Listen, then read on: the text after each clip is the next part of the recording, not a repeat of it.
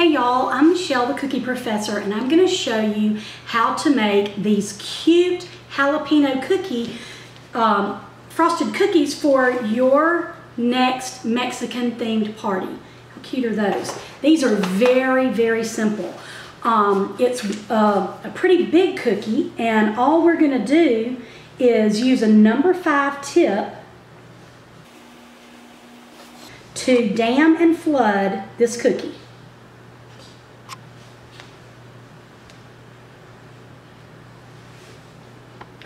Okay, okay what I'm going to do is dam the outside edge.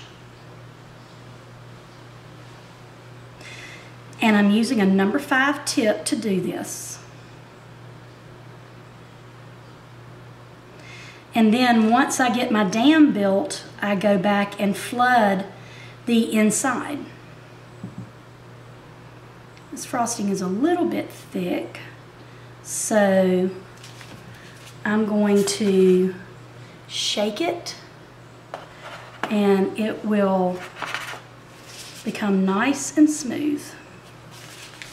So now I think I'm going to do some red on here.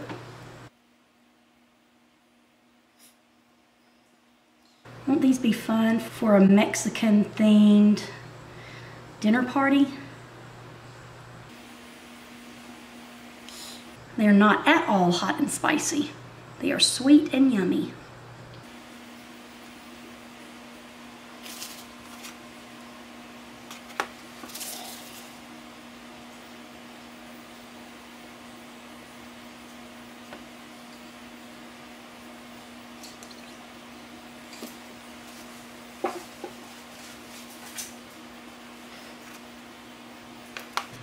Now that I've got these flooded, I'm gonna come back and give them a little green stem like you find on the top of a chili pepper.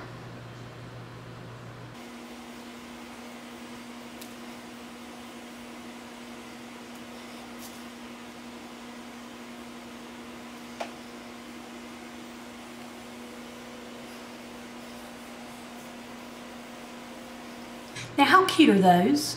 So how fun are these little cookies? You see how, won't those be neat at your next Mexican themed party?